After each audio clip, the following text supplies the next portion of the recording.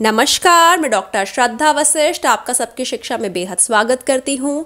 आज की वीडियो के माध्यम से मैं आपको देने जा रही हूँ बहुत ही महत्वपूर्ण जानकारी जो कि संबंधित है केंद्रीय विद्यालय दाखिला प्रक्रिया में दिए जाने वाले आरक्षण से। तो किस वर्ग के बच्चों का कितनी सीटों पर होगा दाखिला?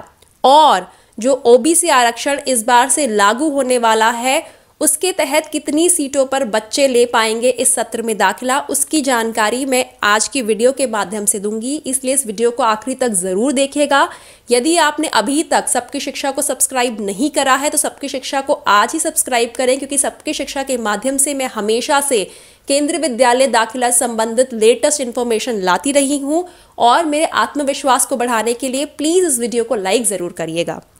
तो यह खबर छपी है Hindustan live Hindustan dot com में और यह कहती है केंद्रीय व जवाहर नवोदय विद्यालयों में इस सत्र से 27 प्रतिशत ओबीसी कोटा। केंद्रीय विद्यालय संगठन के देश विदेश में संचालित 1200 से अधिक विद्यालयों एवं लगभग 600 जवाहर नवोदय विद्यालयों में इस सत्र से 27 प्रतिशत ओबीसी कोटा लागू होगा। केंद्र सरकार ने इस संबंध में पिछले साल दिसंबर में निर्णय लिया था। मानव संसाधन विकास मंत्रालय ने दोनों विद्यालय समूहों के अधिकारियों को 30 मार्च को पत्र भेजकर प्रवेश संबंधी नए नियमों को प्रभावी करने को कहा है।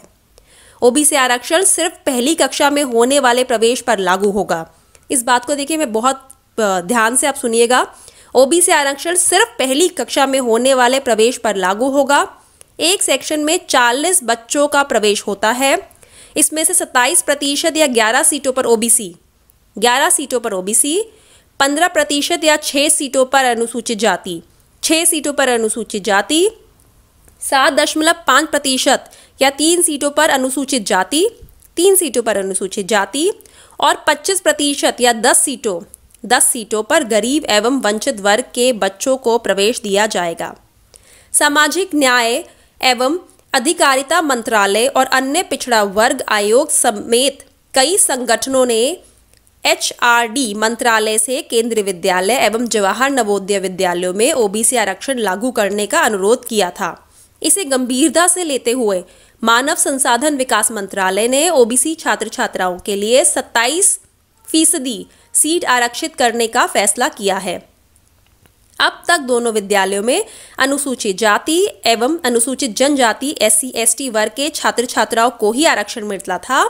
पर 2020-21 के सत्र से ओबीसी वर्ग के बच्चों को भी आरक्षण का लाभ मिलेगा।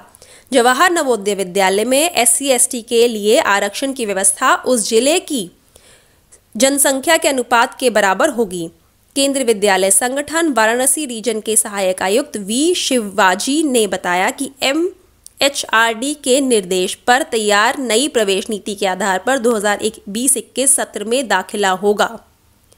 तो यह थी जानकारी जो मैं आपको देना चाहती थी। उम्मीद करती हूँ जानकारी से आपको केंद्रीय विद्यालय दाखिला प्रक्रिया जो इस साल से नए रूप में लागू होगी, उसके बारे में ज़्यादा समझने को मिला होगा। मैं एक बार फिर से कहना चाहूँगी, अगर आपने अभी तक सबकी शिक्षा को सब्सक्राइब नहीं करा है तो आज ही कर लीजिए। हमारा सब्सक्रिप्शन बिल्कुल फ्री है, आपको एक रुपया भी नहीं देना सब्सक्राइब करने के लिए। और सब्सक्रिप्शन के साथ सब्सक्रिप्शन बटन के साथ एक बेल आइकन होगा, एक घंटी का निशान होगा, उसे भी ज़रूर प्रेस कर दीजिएगा। क्योंकि जैसे ही मैं यहाँ से कोई भी वीडियो अपलोड करूँगी, उसकी जानकारी आपके मोबाइल पर पहुँच जाएगी। तो अब मुझे डॉक्टर श्रद्धा वशिष्ठ को इजाज़त दीजिए। नमस्कार।